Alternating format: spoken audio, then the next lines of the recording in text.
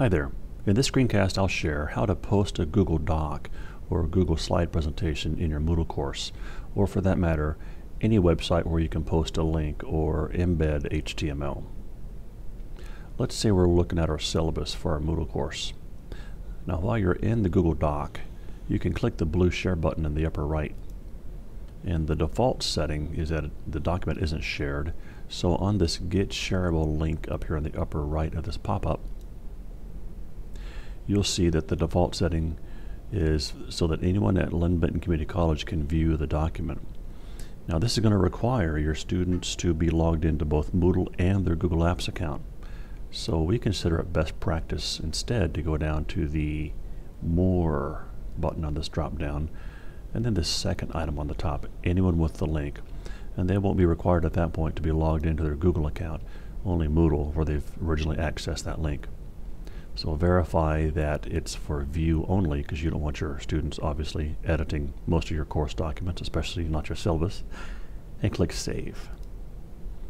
Now at that point, you can click the Copy Link button up here in this pop-up, and now that link is copied to your clipboard. Now to your Moodle course, in the upper right, click the little gear and make sure you turn editing on. Now in the section where you want this item to appear, in this case this is the syllabus, so it needs to be in the top section of your course because it relates to the entire term, not just a given section. In the top section, click Add an Activity or Resource.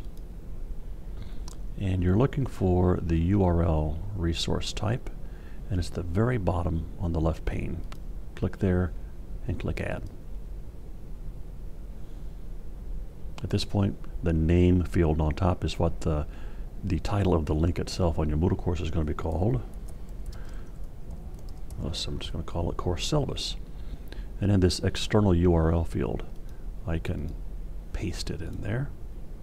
Now by default, our URL resources are set up so that they appear in a new window or a new browser tab because most of the time you're going to be posting a link that goes outside of the Moodle system. And simply click Save and Return to Course.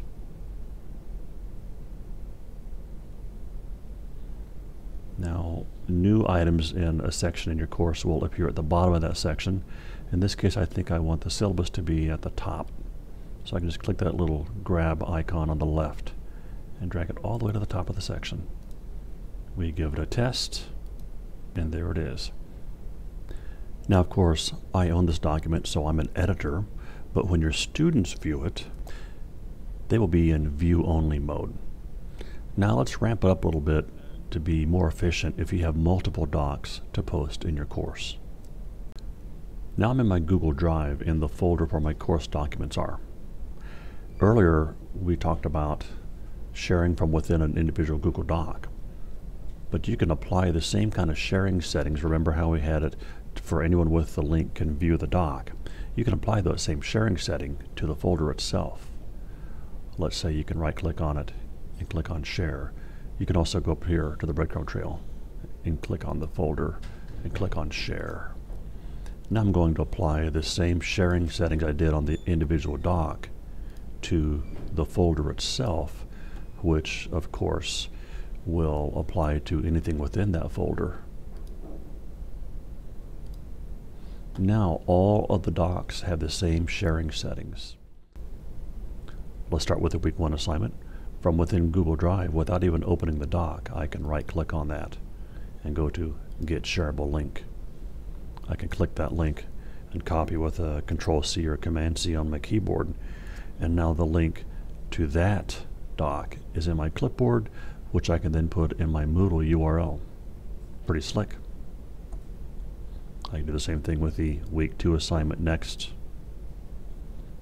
and the week three assignment etc. Pretty efficient. You can use these techniques to post Google Docs, Google Sheets, and Google Presentations in your Moodle course. Now in a future screencast, I'll share how to embed a Google presentation so it plays directly on a page in your Moodle course. I hope this information was helpful. Have a great day.